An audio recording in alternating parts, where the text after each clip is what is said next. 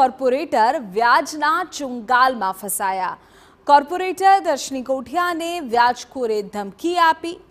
વ્યાજખોર સચિન ઓમ પ્રકાશ જૈન સામે નોંધાઈ છે ફરિયાદ. વ્યાજ ચૂકવવા છતાં પણ સચિન જૈન ધમકી આપતી આપતો હોવાનું રાવ છે.